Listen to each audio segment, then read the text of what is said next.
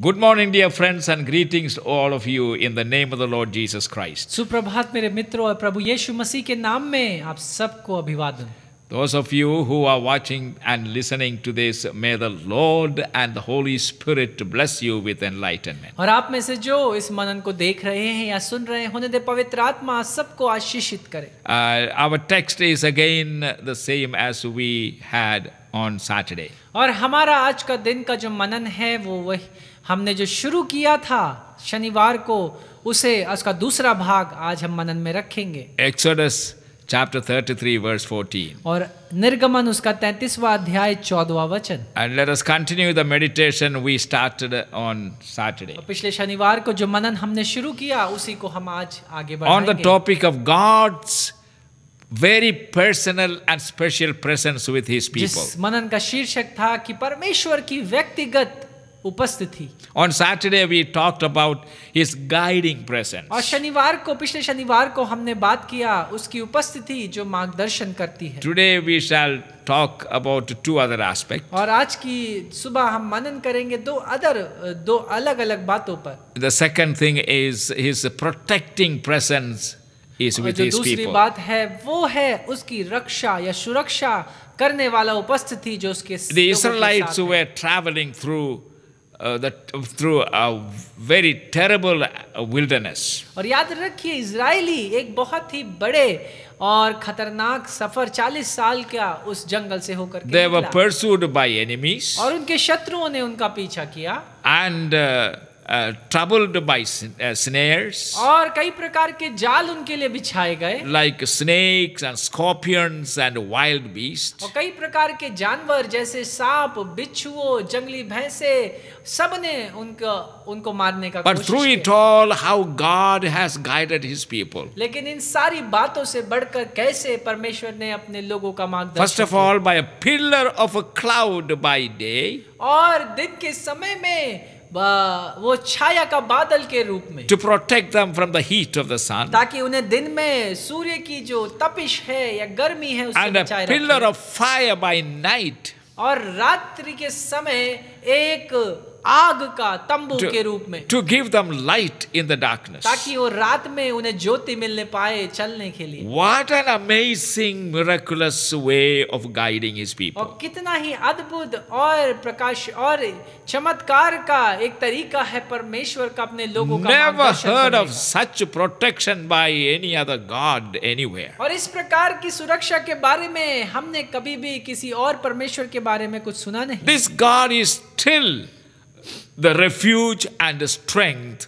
of them that put their trust in this God. और ये परमेश्वर आज भी उन लोगों के लिए शरण स्थान है जो उस पर अपना भरोसा रखते हैं In um, uh, Psalm number 46, verse 1, और भजन संगीता 46 और उसके पहले वचन में लिखा God is our refuge and strength, परमेश्वर ही हमारा शरण स्थान और ऊँचा गढ़ है an ever present help in trouble. और परीक्षाओं और मुश्किलों के समय में वही हमारा सहायक है। friends, no one among the human being can be an ever present help to all who trust in this मेरे. मित्रों याद रखिए मनुष्यों में कभी भी कोई ऐसा न था ना होगा जो हर समय आपकी उपस्थिति आपकी सहायता के लिए उपस्थित रहे This is so amazing. और ये कितना अद्भुत है Or doctor. या मान लीजिए डॉक्टर हो there are hundreds and thousands of doctors in every city. और याद रखिए हर एक शहर हर एक राज्य में हज़ारों की संख्या में डॉक्टर्स मौजूद हैं But no doctor can claim that I will be any time you want लेकिन कोई भी डॉक्टर इस बात का दावा नहीं कर सकता या कह सकता कि जब कभी तुम मुझे बुलाओगे मैं आ जाऊँगा। What will you do suddenly in the middle of the night you are a terrible heart attack मान लीजिए अचानक से मध्यरात्रि में आपको एक हृदय का हृदय का दौरा पड़ा आप क्या करेंगे? And your family woke up the doctor और आपके परिवार ने उस डॉक्टर को जगाने की कोशिश की और वो रास्ते में है। But before he arrived the patient can be gone लेकिन उससे पहले कि वो आए वो मनुष्य मर चुका है But our God is a very present help. लेकिन याद रखिए हमारा परमेश्वर तो वर्तमान में हमारी सहायता number 125 verse 2 says. और भजन 125 उसका दूसरा वचन कहता है As the mountains surround Jerusalem. और जैसे पहाड़ की ये पहाड़ यरूशलेम नगर को घेरे हुए हैं So the Lord surround his people both now and forevermore. इसी तरीके से परमेश्वर अपने लोगों को भी घेरा रहता है अभी और युगानुयुग तक Then in the first Peter और पहला पत्रस chapter 3 verses 12 and 13 और says, उसका तीसरा अध्याय बारहवा और तेरहवें वचन में लिखा है For the eyes of the Lord are on the righteous, क्योंकि परमेश्वर की नज़रें तो उन धर्मियों पर बनी हुई है and his ears are attentive to their prayer. और उसके कान उनकी प्रार्थनाओं के प्रति संवेदनशील हैं Who is to going who is going to harm you और कौन तुम्हें कष्ट या नाश करेगा if you are eager to do good? अगर आप तैयार हैं भलाई और अच्छाई करने के लिए This is our God, और ये हमारा परमेश्वर है protecting presence. उसकी सुरक्षा या सुरक्षित रखने वाली उपस्थिति So he guides his people तो वो अपने लोगों का मार्गदर्शन करता and he protects his और people. वो अपने लोगों की रक्षा करता है Thirdly, तीसरी बात his sustaining presence is with his people और उसकी संभाल कर रखने वाली उपस्थिति भी उसके लोगों के साथ है Sustaining. He not only gives us life, but he also sustains our life. और ना केवल परमेश्वर हमें जीवन देता है लेकिन उस जीवन को चलाता है God not only has thousands and thousands of creations, ना केवल परमेश्वर के पास हज़ारों और हज़ारों की संख्या में उसने रचा none of his creations is left without being sustained. और याद रखिए hazaron हज़ारों और हज़ारों की गिनती में हर एक बात जो उसने बनाई हर, हर एक बात को वो चलाता As the, भी as the Israel of old, जैसे कि पुराने नियम का जो इज़राइल था they depended on God. वो परमेश्वर पर निर्भर थे He satisfied them with goodness. और परमेश्वर ने उन्हें तृप्त किया भलाई से Psalm number 34, verse 10. और भजन संगीता चौतीसवा अध्याय दसवा वचन This, uh, the,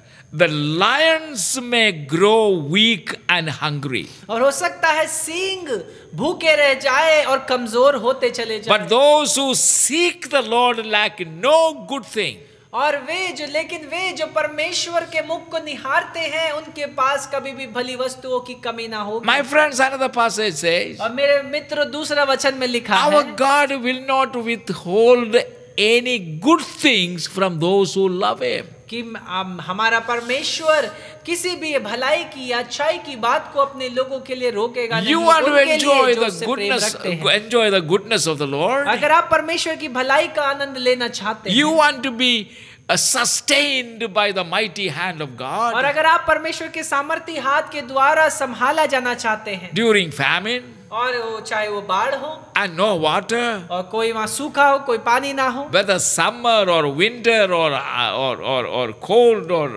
और rainy season any season our God is a faithful God who sustains us. और चाहे गर्मी हो चाहे सर्दी हो चाहे बारिश का मौसम हो हर समय हमारा परमेश्वर हमारे हमें संभालने वाला परमेश्वर He fed them with manna.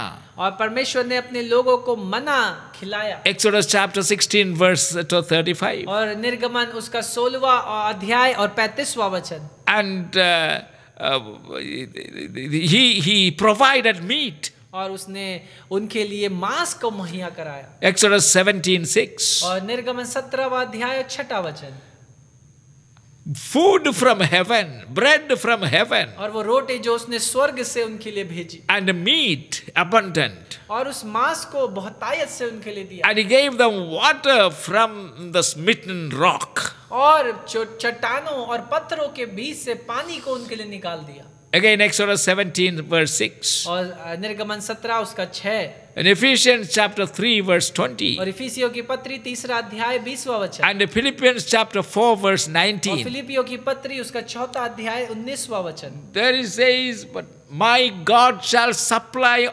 all your needs according to his riches in glory. और वहाँ पर लिखा है कि हमारा परमेश्वर अपनी समृद्धि में अपने लोगों की हर एक ज़रूरत और आवश्यकता को पूरा करेगा My friends, let famine comes and let, uh, the, let, let there be, uh, let the rains be stopped and let uh, uh, no vegetation grows, let any situation comes, our God is able to sustain us by his wonderful और होने presence. दे मेरे लोग मेरे मित्रों चाहे बाढ़ आए चाहे सूखा हो चाहे गर्मी हो हमारा योग्य हमारा परमेश्वर योग्य है हमें संभालने के लिए हर परिस्थिति में So His sustaining presence तो उसकी संभालने वाली उपस्थिति जो हमारे is संग with you and with me. वही उपस्थिति आपके साथ भी है और मेरे साथ Do not be afraid. इसलिए घबराए ना Today is a great day. और आज का दिन एक भला दिन Enjoy His protecting presence उसकी सुरक्षा देने वाली उपस्थिति का आनंद ले and His guiding presence उसका मार्गदर्शन करने वाली उपस्थिति and का His आनंद ले। sustaining और उसकी uski संभालने वाली उपस्थिति का आनंद ले। He is true. क्योंकि वो सत्य है All His promises are उसके uske वादे सत्य हैं And His presence will never leave you. और उसकी उपस्थिति आपको कभी छोड़ेगी You remain faithful to आप Him. विश्वासी योग्य बने रहें Heavenly Father, स्वर्गीय पिता you are a great and marvelous and wonderful God. और आप महान और एक अद्भुत परमेश्वर है There is no God like you. और आपके समान कोई दूसरा परमेश्वर नहीं We trust you. हम आप पर भरोसा रखते हैं Only grant us grace to remain faithful and loyal to सिर्फ you उस अनुग्रह को हमें दे कि हम तेरे प्रति विश्वासी योग्य